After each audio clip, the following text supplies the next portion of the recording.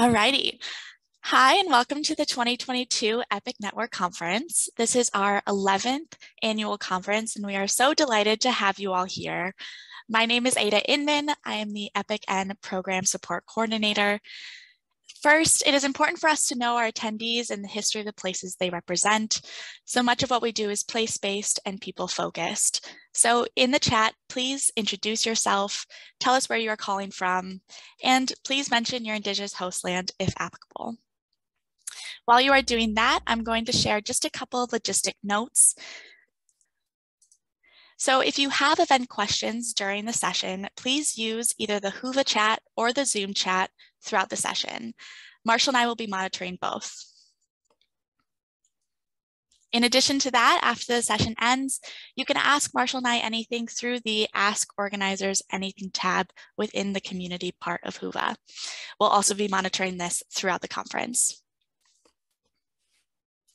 Let me stop sharing. And now let me introduce our moderator for today's session, who will give us a brief overview of the conference ahead.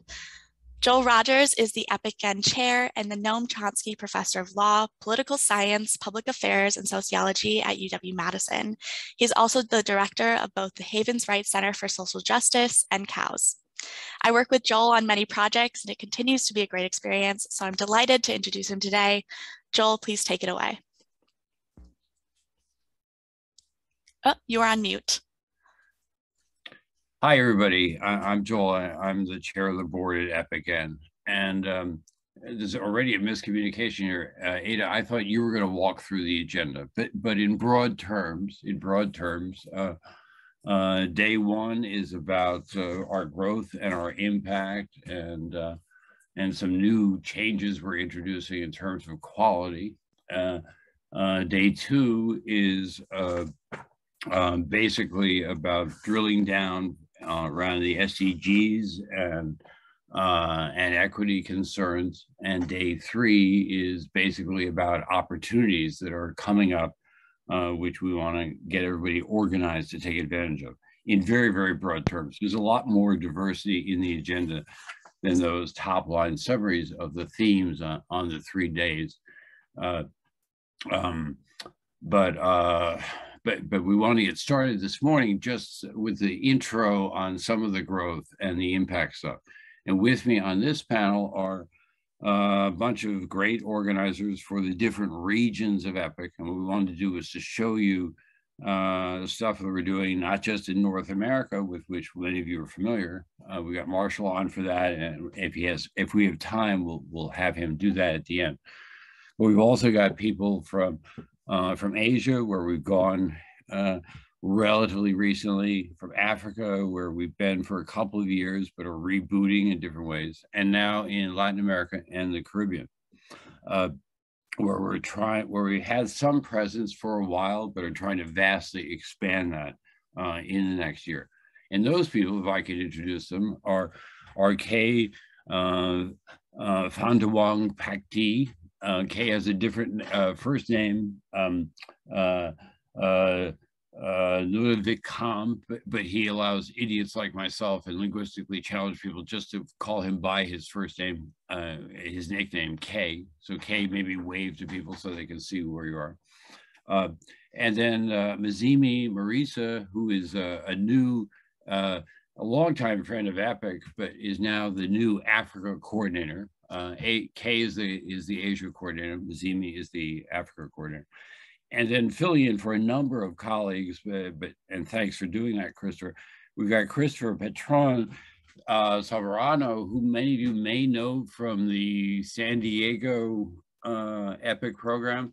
Uh, but Kristofer is doing double time, helping us with a number of other people in doing the market research and and uh, I don't know, preparing uh, uh, the field in Latin America and the Caribbean. And he's joined by several other people that we put on effectively at a staff capacity, at least temporarily, to do that. And I'll introduce them at the end of my remarks. But Kristofer, thanks for doing this. And then Marshall, uh, Marshall Wave. I think everyone in the universe of EPIC knows Marshall. Uh, but if we have time at the end, I'll, I'll ask Marshall to say something about uh, what I want to mostly talk about, which is the growth uh, in the network, and then new things that uh, the central office in in international aid speak they always call it uh, the secretariat. Oh, I'm always uncomfortable with that term, so let's just call it the mothership or something or other has been doing for you and with you in the last year. So let me just share my slides. Let me see if I can manage to do this. Let me share my screen. And what I want to do at the beginning is uh, uh, just walk through uh, progress, uh, you know, not so much from our founding, but, uh, but in particular over uh, the last year. We're nearing the end of fiscal year since we go from July of the preceding year to to the end of June of the of the year named. We're in fiscal year 22 right now, um, 2022. And I just want to go over some some of the progress we've been making and introduce you again. And this again is network wide. This is not uh, this is not in any particular region. Okay, so uh, in broad terms, um, uh, you know, we, we are still, you should really think of us more as a startup than an established organization. The model has been around for a, a while now, almost 12 years, but we really have only gotten organized as a, as a network uh, relatively recently. Remember, we were not even incorporated until five years ago, and we didn't have our uh, our C3 IRS status uh, awarded to us until uh, April of four years ago. So just about four years ago is really when you can think of us having started. And now I'm having some trouble advancing my slides for some reason. Okay, all right. Uh, right now we are basically four or five different regional networks. Uh, we've got the North America one, which has been going for a while. Uh, uh, uh as mentioned, we, we've been in Africa now for a bit. Uh, we've recently gone into Asia, uh, and uh, and then we're intending to go into Latin America and the Caribbean, and that's how you should think of us as an international organization. And we're fairly big in terms of individual participation. Uh, I think the best effective measure of that is that we've got uh, now more than 400 people who are regular users, registered regular users of the member commons, and they come from all over uh, the world. In terms of actual programs, uh, the growth has been uh, pretty impressive. Uh, since we started uh, in 718, the number of programs has more than doubled. As you see, it's it's uh, it's up 164 percent. in and and telling are the story of these programs, we're also getting better. You know, we, we're largely a volunteer-driven organization, but uh, and that's with the secretariat or home office or mothership or whatever preferred language you want. Let me know what the preferred language is, is always trying to do with all the different programs. Uh, through Ada's efforts, in particular, in the last year or so, uh, we've tremendously increased the number of people who are telling their own story. First, by telling the story of their program, we call them program stories, and then also telling the stories of the projects and, and, the, and the partnerships that they've engaged in. Let's talk about the number of partnerships now. What are the what are the current figures on that? Well, uh, that's also increased uh, since the beginning of this fiscal year, uh, about 20% at least reported ones. We've now done, we've engaged with, this is the number you can now use, more than 350 uh, uh, communities uh, around the world, incredibly diverse uh, in their demographics and also importantly for a lot of your local people uh, their politics. You know from red to blue to use us language uh, from right wing to left wing to use conventional uh, uh, language in the world. And uh, that's where some of the partnerships are. And as you see we're, we're we haven't you know we have a continual problem in documentation which is uh, an understandable problem because people doing the work don't want to spend a lot of time talking about it and then revising it and, and getting it approved and stuff. But if you don't tell the work, no one else is going to know about it. And your ability to do the work is really improved by our ability to publicize what you've been doing. So anyway, we've got uh, these partners and the project stories uh, is the key reporting thing that we always emphasize. And there, the number of project stories, which again is up uh, considerably, uh, even this year in terms of the reported stories, is now up to, uh, well, it's close to 1,800 uh, projects. That is individual projects coded by SDGs uh, that have made some progress on those SDGs in some way. Let me uh, just pause and let you contemplate the remark by Andrea Fox, who's known EPIC and been involved in EPIC for a long time, first in her days at ICMA and, and then elsewhere. And she's currently actually a town manager in Maryland. Um, a big friend of EPIC, but uh, uh, uh, a nice quote for, from Andrea. Anyway, so we've got about 1,800 projects, 350 communities. That's the bottom line thing. And uh, uh, and 65 to 70 uh, actual active programs now. And these, these projects, again, as I think you all know, are all coded by the UN Sustainable Development Goals. Um, you, I'm sure you recall those, but to just show you the typical sign, that's about ending poverty, um, ending hunger, uh, getting people decent health care, uh, decent education, have, having, you know, fair level of gender equality, improving the environment in all sorts of ways, improving justice institutions, uh, making sure that uh, um, that cities in particular, where most of humanity is heading, are are, are well run and, and resilient, you know, and a variety of other things. And between and after these 17 very egalitarian goals, very, very egalitarian. Remember the, or if you don't know, the the the motto of the Sustainable Development Goals is uh, uh, leave no one behind. They're, they're, all for all of humanity, which is part of the reason why virtually all of humanity's representatives, as represented by the 173 nations in the UN General Assembly, have endorsed these goals. And, you know, time is running out on their achievement. I and virtually everybody in the universe thinks they'll probably move back to the time of actual achievement. But I don't, I don't see any interest in moving away from those goals. These are the goals of humanity, and EPIC is here to, uh, to help it uh, progress uh, on them. Anyway, that's what it looks like in terms of our projects. The sustainable cities and communities. Uh, one, one of the, one of the SDGs is uh, as you see, is sort of an outlier among uh, the projects, but we, we've got stuff in all of the different uh, goal categories of the, of the UN uh, framework. Okay, now in the last year or two, uh, but we want to emphasize just the last year, just to bring it up to date, we have a variety of new resources that we want you guys to know about. One is, and Marshall in particular has done a ton of work on this. So we, re, and it's been very much responsive to, to things we've heard from projects, like just tell us how to use all these different things that, that we have available to us.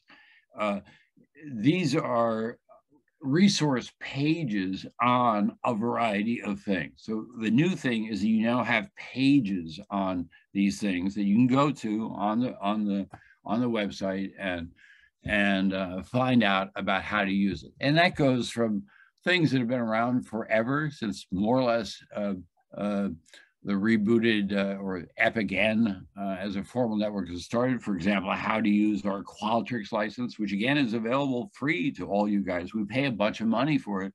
We want all the members to use it. And and that can save you a lot of time uh, with your local situation. You got free use of the group license that Epic gives on on Qualtrics, which enables you to survey just a ton of different things from participating students and faculty to communities to anything you want to survey, basically.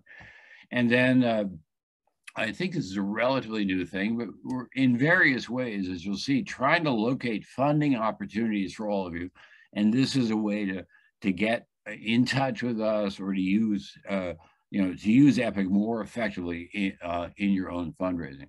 And then there's a bunch of stuff that's been around for a while around uh, how, how you uh, can use EPIC more effectively in marketing your program.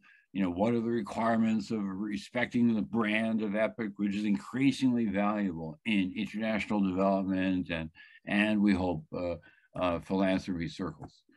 Uh, but then, uh, but just to give you a little bit more detail, uh, there's a bunch of stuff on technical assistance uh, of various sorts, uh, which we wanted to highlight here.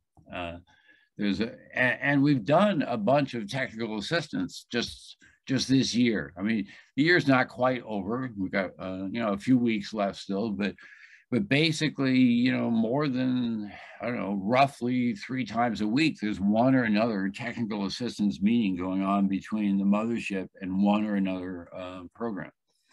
Uh, the other thing is we've done a lot more webinars and, and we also have webinar and course resource pages. Uh, uh this is the webinar resource page. It'll uh, show you uh, all the different webinars we have done. You've got recordings of virtually everything that's up there. It'll be a guide to you and it'll uh, enable you to access more.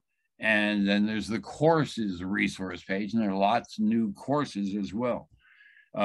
Uh, and then there's a, a, whole bunch of new YouTube videos. Uh, there have been eight new ones published uh, just in, in this academic year. And, and there's a course page on that actually showing you how to find, uh, find those things. Uh, the number of webinars, uh, community of practice meetings, uh, network calls, et cetera, is running at least, uh, well, well over, these are epic wide, that's well over uh, once a week. So that's a fairly high level of, of engagement. Uh, there's the funding resource page again, I mentioned that. There's a re repetition. Oh, oh, this is a, we could brag on this a little bit there, there were five programs in the last year as a as a direct result of our assistance that collectively got you know more than 10 million bucks. That's the programs. That's not the mothership. That that's actual programs. And that would you know that's a very very concrete way in which the uh, the center or home office or mothership I'll, I'll, just I'll start calling it by its real name. Secretary is is helping individual programs. And we want you to exploit that more. Uh, we want you all to get richer and and uh, be able to hire more staff. Uh, okay on the resource page oh the other thing is uh, the project library uh, the technical the project library is familiar webinars courses and and nine more uh, the other thing we've started in the last year is these communities of practice we had we had three different topics for communities of practices, a bunch of, and this came from the, the program suggested to the board. We went over it, approved it. It was led by, you know, know Marshall and Ada, of course, helped, but it had individual leadership in each of the uh, communities of practice. One focused on outreach to rural communities, one focused on, on getting better at assessment and evaluation, one focused on, which is going to be a theme uh, in this conference again, on getting better at engaging communities, whether it's uh, Laurie Dupree Brown's uh, five ways to do a 360 approach to the SDGs or or whatever, uh, on which, by the way, we have a, uh, uh, a little YouTube thing up uh, in that YouTube channel as well, or, or other means. But we want definitely to continue and get better and better and better at using the UN SDGs. Anyway, those are three topics of the communities of practice. We did that too. Uh, the assess and then independent of the communities of practice, uh, Marshall and Ada did, uh, and this too, I believe is recorded, tell me if I'm wrong, virtually certain it's recorded, an assessment and evaluation workshop, which is a pretty detailed thing. It's three different parts. All of this requires uh, work and programming. Oh, they, here finally we have the SDG YouTube playlist. That's where, that's a picture of that. And then we've done a new thing, which is uh, we talked forever about keeping track of people after they leave the program or just a, sort of an alumni association thing. No one really likes the alumni thing, but certainly there at this point lots and lots of people who've had some sort of epic experience, and it's way past time. And I'm personally really delighted we've finally gotten this organized. So we now have an Epic Network uh, community uh, a group set up at LinkedIn. So I'd really urge all of you to find that in LinkedIn, and here's how to do it. And this slideshow itself, by the way, will all be up for you if you want to look at it quickly, or you want to look at it after the conference. I know I'm running through it quickly just in the interest of time. But anyway, so we have this uh, this LinkedIn group uh, as well, which will be uh, really fantastic. And then a very, very important thing is going to come up later today, and it's going to be really critical to our future growth, is a process of EPIC program certification. Uh, we still haven't settled on the dues thing, and uh, we keep kicking that, that can down the road because all of our friends, especially outside the US, but in the US as well, say the, the costs of the pandemic are still real, and we have to be attentive to those. Uh, but the certification is going to be a, a, very basic currency of, of operating in the network. And given the amount of money we expect to have outside the network, it, it's going to be the gateway to that. So that is really worth paying attention to. And that thing comes up, uh, I believe, this afternoon in just about three hours from now. Okay, but back to uh, the network. The other thing we tried to do over the years, but with greater intensity, uh, continues to grow, is to make strategic alliances with other organizations. And, and the most advanced though, thing, they're, they're actual partners. They do joint programming with us. They do joint uh, funding applications with us. They're, they are often in our conferences, we're often in theirs, et cetera. Then there are sort of allies or, or close working friends whom we trust and can do deals with, but are, are less sort of permanent. And then there are friends, people at who at least agree to, you know, uh, to spread our social media among their links. We do the same for them, um, and well, they're they're friends. They're, not they're not real allies in particular campaigns, and they're not long term strategic partners. Uh, uh, but, but they're certainly friendly. And we have really expanded the number of serious partnerships uh, uh, with ELGL, engaging local leaders, with Collaboratory, which is uh, an organization a lot of you know of that does careful mapping for universities of, of uh, service learning type things at the place. A very important one, which we recent, only recently concluded with ICLEI, uh, that stands for the International Council of Local Environmental Initiatives, but no one can remember that. So they just think of it as a network of sustainable cities. Uh, that's a very big one for us. We've been trying to get that settled for a long time. So we now have a formal relationship with ICLEI, which is the major international organization of cities trying to do something like what we think every city in the world should do. And then Thriving Earth Exchange, Start International. They're the people often paying Mzime's uh, uh, paycheck and actually Kay's paycheck as well through a deal with GAN. Very close relations with START. In Latin America, in particular, relations now with IAI, which is a, a long-standing, uh, important institute for research and technical assistance in, in, that region. And then, of course, the UNEP GAN.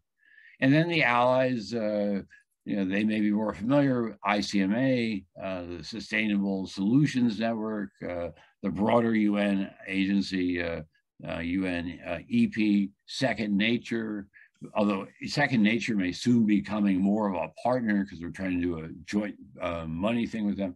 And, and then our very old friends have been around forever, Future Earth. And then there are a variety of other friends that are out there. Okay, anyway, I just want you to know that we're talking to all these different organizations, trying to do joint deals with them all the time. And I think EPIC has, as a result of those outreach efforts, uh, I think it's considerably more visible uh, in, uh, in relevant rooms uh, as something that can really do something fairly big, very grounded, uh, involving the next generation centrally. Uh, uh, to advance, uh, you know, love and kindness and decency and sustainability and all the good stuff in the world. And part of that has been to add on a few additional staff. Uh, you know, all these people work uh, incredibly hard. We, we, pay them almost nothing, as you probably know. But I just want to actually, you know, just see their faces and, call out their names. Mzime, you just uh, met on this channel. You got Kay right there. Uh, Ada, I think you already know, she introduced. Uh, you, of course, got Marshall. Uh, Max, you probably haven't heard, he works with me at COWS, but he, he's been working a lot on, on Epic. And then you've got uh, uh, you got Kristofer and his uh, uh, colleagues. Uh, uh, you got Andrea uh, Birgit Chavez. Uh, you've got uh, I'm not seeing the circle here. I don't know why it's going on here. Oh, oh Bryce Bray, great guy. We got hand or look, got to know him through GAN, who's now doing most of the Brazilian stuff for us. Uh, uh, Kristofer, whom you're about to hear from, if I ever stop talking, uh, and then uh, Maria Inez uh, Carabajal, uh, who's uh, in the you know the Cono Sur portion of, of Latin America. Anyway, so just to conclude, uh, in, in, terms of the future, so I think that represents a fair amount of work. I hope you agree. Again, kick the tires at this conference and forever after, and anything just said here, go on the website and and uh, please rip out those resource pages and try to make the, the thing work. Just three quick things I wanted to highlight uh, as challenges coming up, especially in the next year. One is uh, getting ourselves organized to uh, uh, to compete on, on that very big pile of money, uh, which now has been appropriated, but now we have to get them to actually spend it, and in particular to spend it on us. Uh in the U, this is appropriate only to the U.S. folks. Sorry, uh, but that HUD grant uh, that that could be our ticket to really becoming more, much more established on a more permanent basis. It's been a focus of a lot of activity, so that time is right now. The other thing is this, the importance of this member certification discussion. Again, it's going to be in about two and a half hours from now uh, at this conference. Please, please, please pay attention to that. It reflects a lot of work from a lot of board members and other people over the last year to try to uh, really get something that everyone thought was fair and uh, and robust, something that we that we can represent to the rest of the world. Yeah, an EPIC program, it means something. Here's what it means. That's a really important thing for us in terms of our credibility uh, and, and quality assurance. And then the third thing, again and again and again, is the SDGs. You know, we committed to doing that as the framework for all of our engagement. Now, I know three years ago, We've got trainings of various sorts introduced two years ago. We've tried to supplement those one in the last year.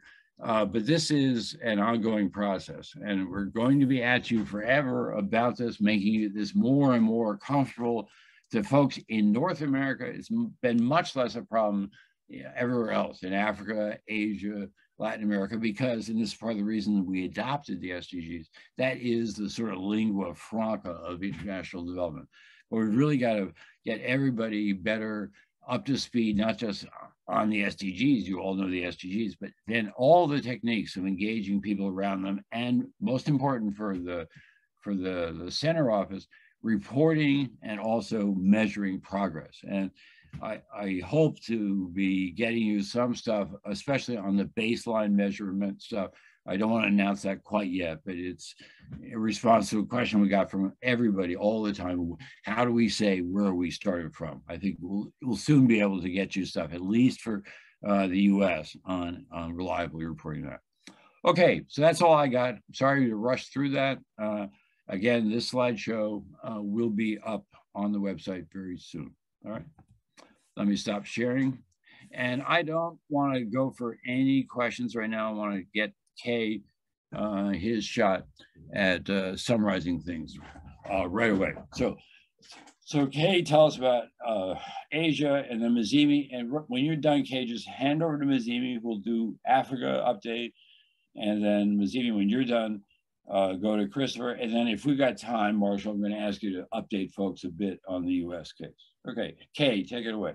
All right, thank you so much, um, Joel. Thank you so much. We actually have um, the first session in my afternoon, so very late at night for most of you.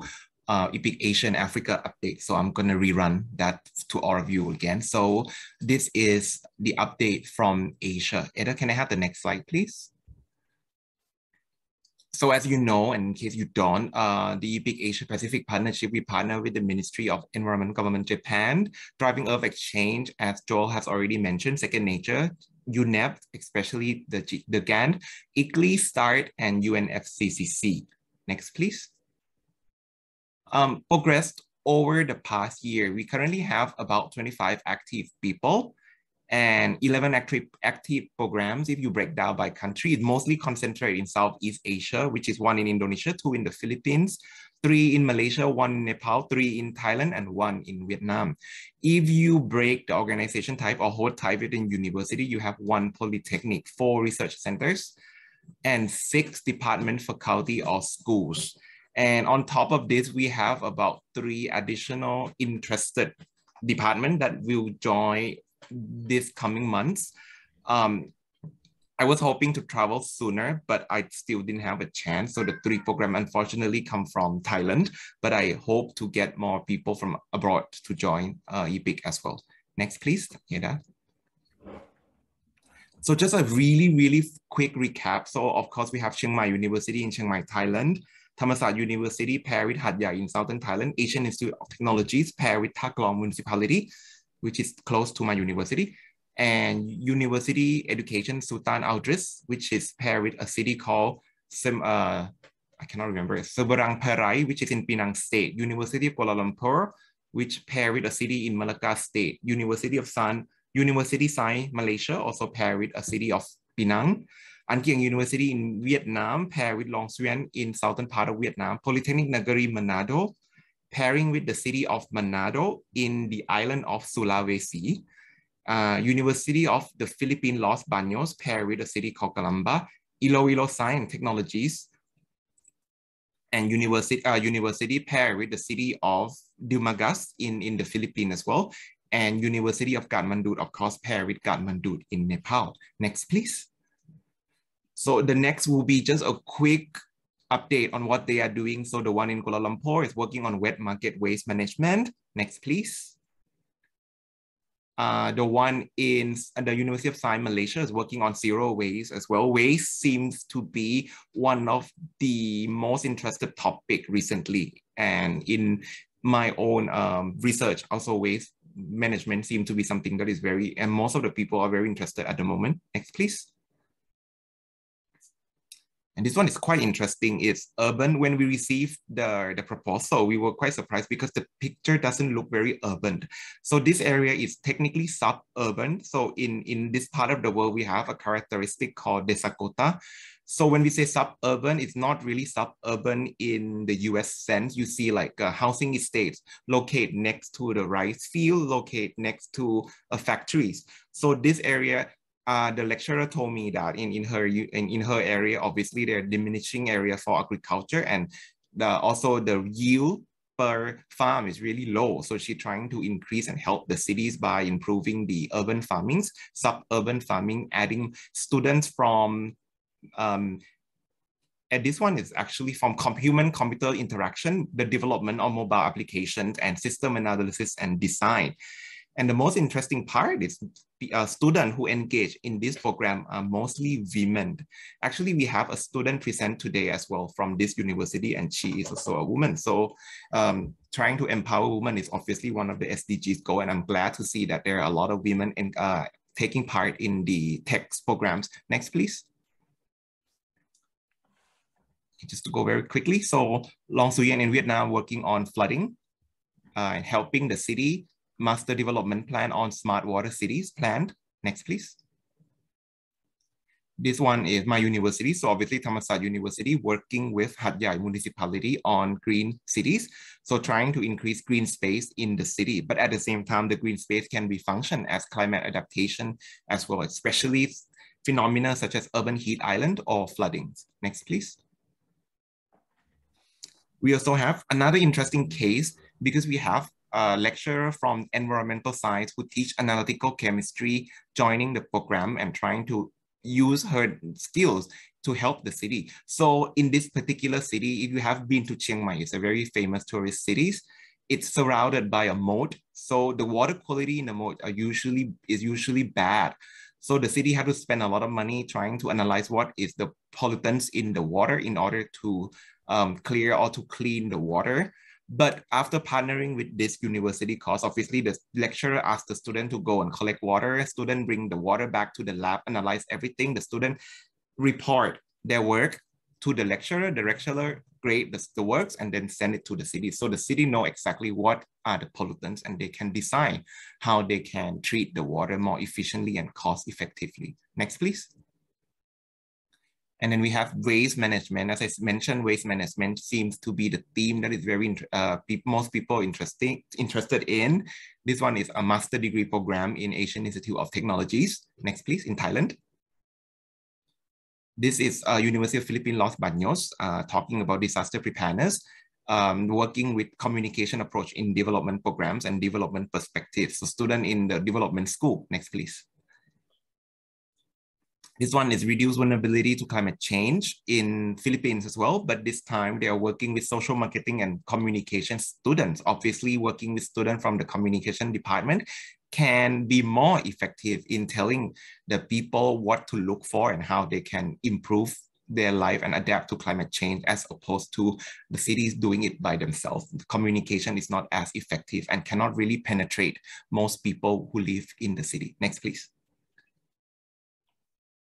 And also in um, Polytechnic Negeri Manado, polytechnics in Indonesia also work with flood early warning systems I also work with students who work in the engineering department, so improve real-time flood prevention systems. Students get to maintain, monitor, and replace flood, uh, flooding early warning systems. And also interestingly, again, uh, we have a, a, female student representing the, the university as well. And I, I was told that a lot of students are women in engineering as well. Next, please. And this is obviously very last working on unsustainable urban expansion in Kathmandu city in Nepal. Thank you. Next, please. So that a very quick recap of the students, uh, 11 program stories, which I have already published online. I also published four partnership stories. So one in, I will, I aim to publish more. So there will be more coming. But right now I have one on smart farming, one on green public JS, zero waste, towards sustainable community and mapping inundated area for sustainable drainage. Next, please. So um, program or website that already use the Epic N logos, I count, there might be more, but I physically go to their website or go to their material and count. There are altogether six out of 11.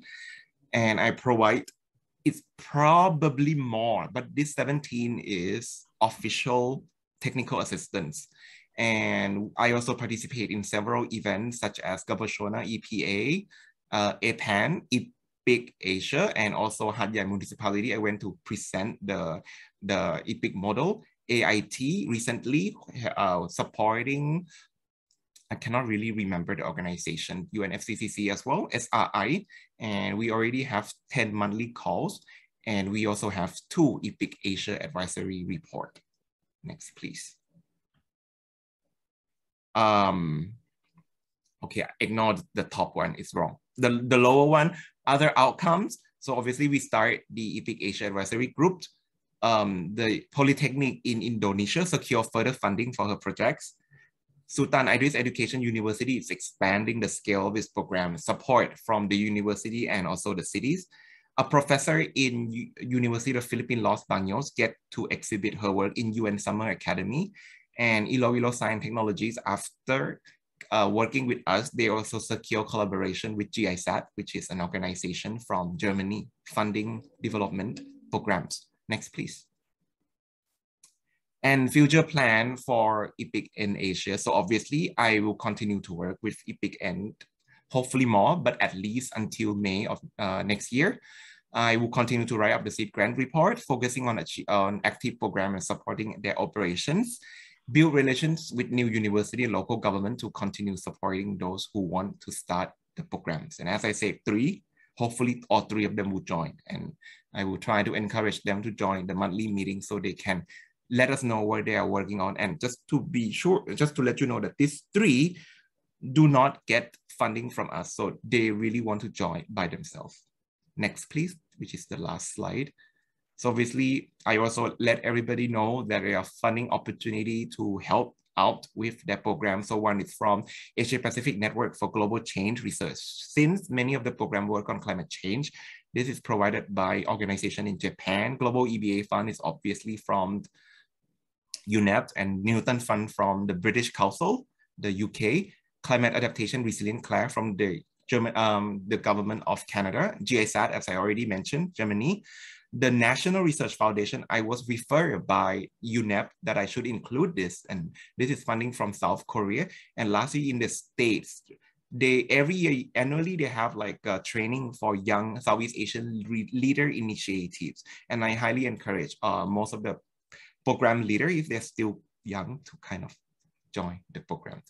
And that's is that's are the updates from Asia. A very quick update from me. Thank you so much, Kay. Uh, so Mzime, have you got slides? Uh, take us away.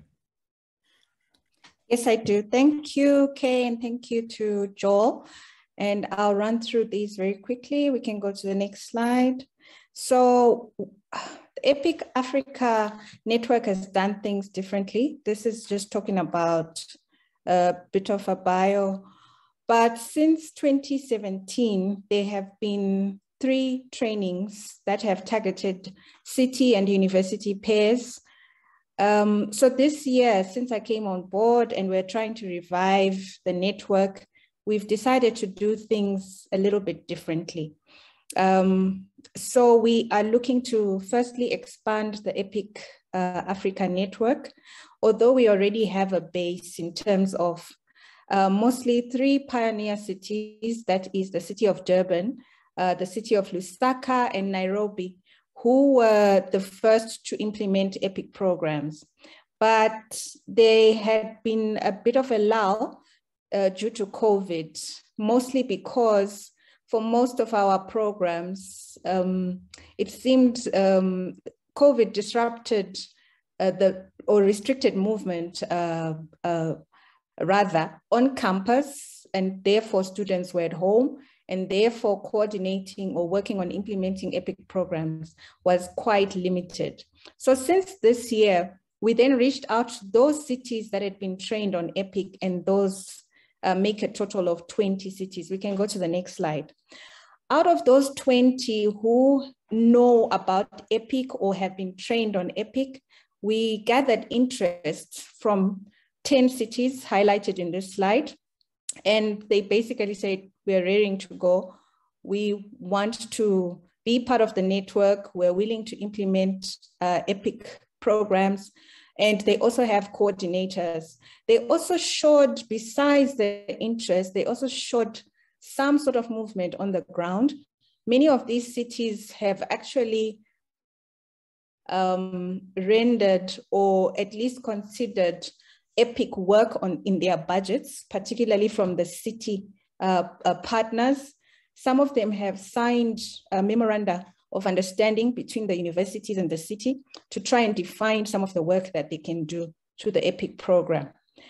Let's move on. So out of these 10 cities, what we then decided to do was to concentrate on six Southern African uh, cities. So as I said, right now we have 10 cities. So that number of active people, 20, represents the city and university coordinators in each of those cities. So that's why there's 20 there. And it amounts to a 60% uh, positive change because initially we were, we only had three cities, Durban, Lusaka, Nairobi, three cities, but now we have 10. Okay, and then the number of active programs, it's four in the past year that is uh, looking at June 2021 to date. And these include the city of Durban, Lusaka, Nairobi, which started off in 2017, is not active at the moment. So we've added two cities that we can say have active programs. That is the city of Harare and Kampala. Okay, we can move on. And then in terms of uh, progress again, the number of stories that have been published, they were no stories published in 2021. So those two are from 2020. But we've had partner organizations, some of which Joel uh, mentioned, which are supporting uh, the EPIC effort in Africa, and they have been publishing um, uh, stories or talking about EPIC or talking about the expansion in Africa, and they are highlighted there. And then program stories, um, there is one on the GAN uh, website, is, um, but also published on the EPIC uh, website. We can move on. And um, the other progress, as I was describing those six um, uh, uh, uh cities, we've been able to talk about refresher courses, and I'll talk about that a little bit more in the outcomes, but also some of the plans uh, we have. But we have been quite active in terms of presentations, um, having been part of some of those conferences, uh, including this one. But the one I want to really highlight is the Sustainability Research and Innovation Conference, which is on next week, um, the whole of next week, because in there, we have invited Durban and Lusaka. Remember, I said they were part of the pioneer cities. And what we have done is put together a training program that's sort of like an EPIC 102, because those two particular cities are looking to expand their EPIC work and not really start um, uh, from zero like the other ones. And then we've had monthly calls uh, in, in terms of uh, communication. Um, we have revived these this year. So in April and May, we've had calls, we've had much more communication. And then, of course, uh, as part of the Secretariat and Interim Committee, we've had a lot of communication on a weekly, monthly uh, uh, basis, particularly with uh, our partners, and also engaged in the EPIC Advisory Board and the EPIC Asia Advisory Board. And then in terms of outcome, uh, I'm happy that um, uh, partnering with START, I am uh, have come on board since February as the EPIC Africa coordinator, and we are trying to revive the, the network. So what we plan to do is to have these refresher courses, and we are starting with the Southern African cities, six Southern African cities, because we realize that we will have greater impact going to the cities training at least 20 people in the cities because they indicated to us that this will be more effective than say bringing pairs together in a face-to-face -face, uh, meeting because once there's a face to EPIC, it will be easier for the coordinators then convince their colleagues and their leadership. Let's move on. So in terms of the plans, we will continue expanding the EPIC network um, like I said, we are concentrating on Southern Africa, but we the plan is to expand to other regions. We have cities in East and Central Africa that we have contacted either uh, in the face-to-face -face training or on one-on-one -on -one training and outreach, um, maybe one or two in West Africa, but we do want to expand more to those regions and more specific tailor-made training and then um, uh, eventually to North Africa. And we would love to have an EPIC Africa Advisory Board like our other counterparts and regions. We have worked on a communication strategy, which we will finalize and we'll be sharing with the members. And then of course, I talked about the refresher trainings.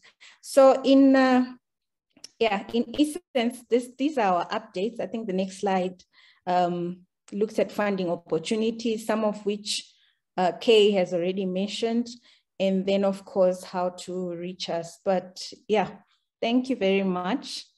Uh, I had seven minutes, so yeah, thanks. Over to Kristofer. Thanks so much, Mzime. Okay, Kristofer. Hi, everyone. I'm going to share my screen right now. So I'm going to talk about the uh, project to expand the EPIC model into Latin America. Um, I wanted to give a little uh, context on what has been done in Latin America before. And um, uh, click a couple times, uh, Ada, please. Uh, so the first program to have interaction with uh, communities and, and, universities in Latin America was the SAGE project, uh, which is the EPIC program at San Diego State University. You know, we we banked on the location of San Diego State University, right across the border from Tijuana in Mexico. And we had the opportunity back in 2015 to start a uh, collaboration with the City of Tijuana Environmental Protection Office on a project called Community Parques. So I, I, I'm, I'm, I'm feeling uh, proud enough to call uh, the SAGE project the first Latin American EPIC program, although it is in uh, the US. Um, and we started that uh, uh, uh project collaboration back in 2015. Um, it lasted a, a, a, couple of years, uh, 2015 and 16. And because also the, the closeness of San Diego State and SAGE uh, project with Baja and, and, and Tijuana, we started uh, supporting uh, UABC, Universidad Autónoma de Baja California, and, in Ensenada, also in, in Baja, to um, for them to implement their own program. And because of our influence, they um, uh, call this program Sage Cimarrones, which is their mascot at the university. And they uh, worked 2016-17 on a, a, project with the city of uh, Ensenada. And uh, I believe also wasn't involved, but a, a couple programs in Brazil started about 2017 and 18. Uh, and, and, and that was the first approach in Latin America. So we knew in, in EPIC that there was interest and uh, a huge potential, of course, in, in Latin America uh, uh to, to implement uh, the model, although with uh, plenty of differences. Could you click one more time, Ada, please? And um, so 2022 was the opportunity um, for the EPIC to launch a, a, a, program, Latin America and the Caribbean wide. Um, the, the, slight difference uh, with uh, Asia and, and, Africa is that uh, we didn't uh, uh, try to just go and, and implement uh, programs or do trainings straight out of blue. Uh, we wanted to have a little bit, you know, because of, of the diversity and the uh, huge extension also of the region and the population is that we wanted to first gather some information on the region to uh, try to adapt the model uh, uh, better and, and going to the region with already uh, a, a, plan and a lot of information to, to help properly all the universities and organizations that want to implement the model or are, are interested. Uh, uh, please go to the next slide. Uh, and uh, in order to do this, because there's there's so many countries and and and, and such a diverse region, uh, EPIC, uh, as uh, Joel uh, mentioned, is in, in, a partnership with IAI and UNEP to help. Um, you know, gather all this information and, and raise momentum in, in the region. And that's why we click a couple more times, Ada. Um, are collaborating in as, as a group uh, and, and divided up the, the region for a better understanding of it.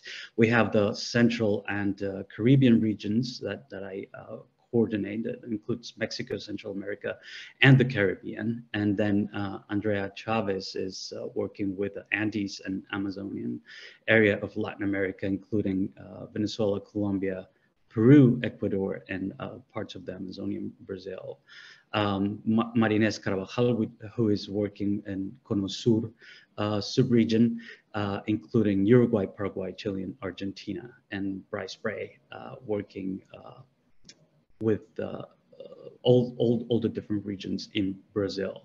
Uh, click another time data, please.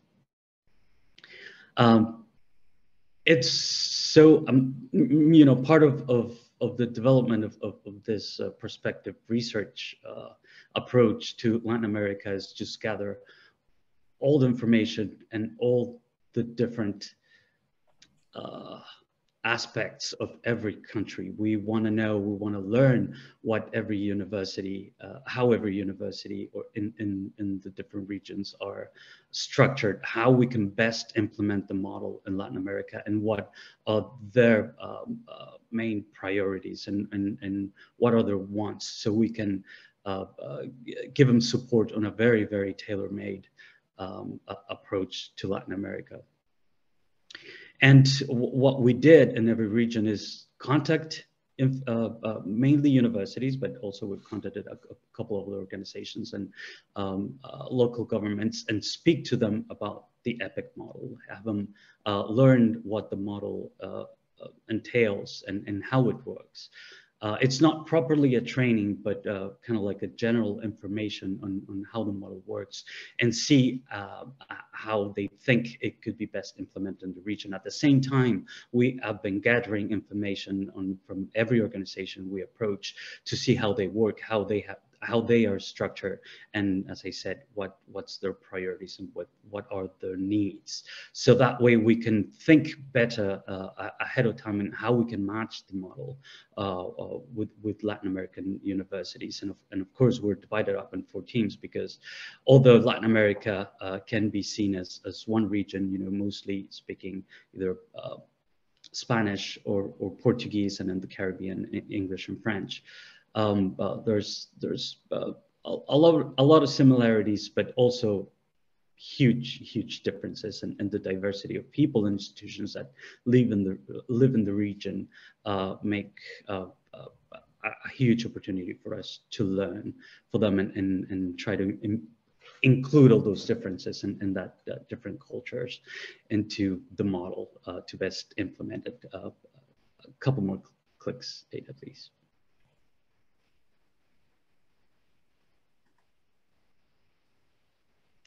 So uh, what we've done uh, since the uh, project started in back in May, um, we've approached uh, 15 countries uh, gathering their local information, their context, their challenges and opportunities. And uh, we're recording all those differences and uh, all their, all their needs and all their priorities.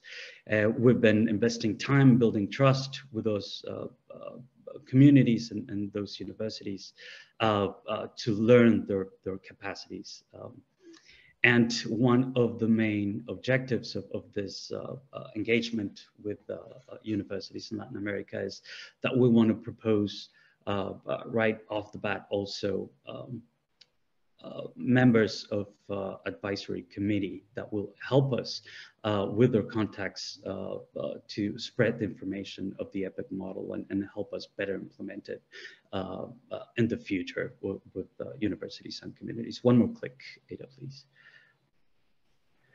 And uh, uh, to date, also with I, I can't speak, um, um, you know, about specific projects uh, yet because this is just the perspective stage of, of, of, the approach of the project with Latin America. But I can say that we've uh, contacted more than 300 people all over those 15 countries and 50 universities. And from all this uh, interaction, we've done, you know, several dozens of uh, kind of pre-training uh, information online sessions with uh, all those universities and contacts. And as a result, we have at least 10 uh, uh, institutions that they say in the near or, or, or, mid future, they are ready to start a pilot and would like more support from EPIC. So we think that's enough uh, momentum and interest to start a EPIC Latin American Caribbean um, um, organization that I, I hope this next year uh, sees that happen. Um, so that's uh, pretty much all the information I'll, I'll, I'll give on this. Uh, hopefully for next year's conference, we'll, we'll announce uh, the beginning of uh, EPIC Latin America and, and, and, a, and a few uh, pilot programs. Okay, terrific. Thank you, Kristofer. So uh, as you see, there's a, a ton of stuff going on all over. Unfortunately, we are now right at time. Ada and Marshall, give me instruction on how long is the break that was scheduled to start right now? And how much time can we steal from that break, if any? I've messaged the that other session in the Whova app, but there are folks who will be joining, um, looking or looking to join pretty soon here. So we should move on quickly, like so two minutes. You, Two minutes. Uh, okay, do you want to take those three minutes? So I guess we don't have time for questions, uh, but I want to give you a chance just to summarize anything you want to say about progress in the last year in the US portion of North America. Um, I, I, think that overall in the Un United States, what we're seeing is there's uh, more programs coming into the network to, to participate, and we're using the new products that Ada presented and Joel mentioned his presentation to get them started. And there's a lot of you who are on this call right now who have really been the champions of the network year in and year out, and you're really evolving and, and expanding what you do in all the different categories and making things higher quality uh, for the communities, for the students, for the faculty. And it's just really impressive to watch as the years go on. We'll highlight that more as the conference goes on. Um, and um, uh, yeah, I'm just overwhelmed by the amount of work that's going on between all the regional coordinators uh, in a good way. And uh, I really look forward to seeing how things go on from here. Okay, so uh, with renewed thanks to everyone who presented, uh, uh, Mzime, Kay, Kristofer, and, and now Marshall, uh, I guess we've got to end this here. We can't do questions, but we're, we're, you know how to find us all on the chat or Whova, whatever. We're all available to you throughout the conference to answer any further questions you might have or follow up in any way you want. And with that, I'm going to hand it over to Ada. So thanks, everybody. Thank you, everyone. Uh, one quick thing, please consider giving us feedback using the rate session option in the Whova screen for the session we're on. Um, and with that, I'll let you all go and I'll see you at the next session. Great to see you all.